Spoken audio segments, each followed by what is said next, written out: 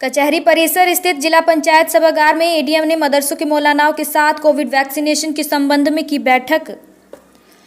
जनपद मुजफ्फरनगर के कचहरी परिसर स्थित जिला पंचायत सभागार में अपर जिलाधिकारी प्रशासन अमित सिंह एवं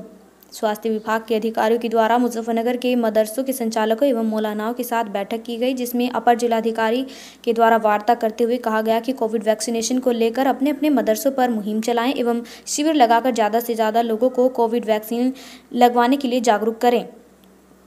व कोविड गाइडलाइन के बारे में जागरूक करें और अगर कोई भी किसी भी तरह की अफवाह फैलाता है तो उसकी जानकारी तुरंत ही जिला प्रशासन को दे और अफवाह को फैलने से रोके, जिससे कि जनपद में कोरोना संक्रमण कम हो सके। ये मीटिंग आज जिला पंचायत सभागार में जो हमारे जनपद के हैं, उनके प्रबंधक को आज हमने सभी को बुलवाया गया था। इसके साथ साथ हमारी और की टीम की टीम और हमारे शहर के समाहित काजी साहब भी हमारे साथ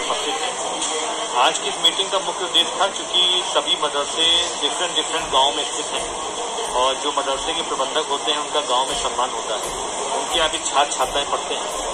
तो आज उनसे अपील की गई थी कि एक जो 45 साल से ऊपर के व्यक्तियों का जो वैक्सीनेशन होना है ये अपने मदरसे के माध्यम से, अपने मौजूद लोगों के माध्यम से, हमारे पैंतालीस साल से जो ऊपर का चल रहा है वैक्सीनेशन उसको बढ़वाएँ दूसरा जो इनके मदरसों में छात्र छात्राएँ पढ़ते हैं उसमें जिनके पेरेंट्स की उम्र 12 साल, बच्चों की उम्र 12 साल से कम, उन पेरेंट्स को भी मोटिवेट करें अपना वैक्सीनेशन करवाने के लिए। इसके अलावा जो है टेस्टिंग और मास्क का प्रयोग सामाजिक दूरी के अनुसार इन सारी बातों पर चर्चा हुई डब्ल्यू एच ओ की टीम ने भी इसके वैक्सीनेशन के फ़ायदे बताए और हमारे शहर काजी साहब ने सभी से आज अपनी अपील की, क्योंकि शहर काजी साहब भी खुद वैक्सीनेट हो चुके हैं। तो इनके द्वारा भी आज सभी मदरसों के प्रबंधक को संदेश दिया गया कि वैक्सीनेशन होना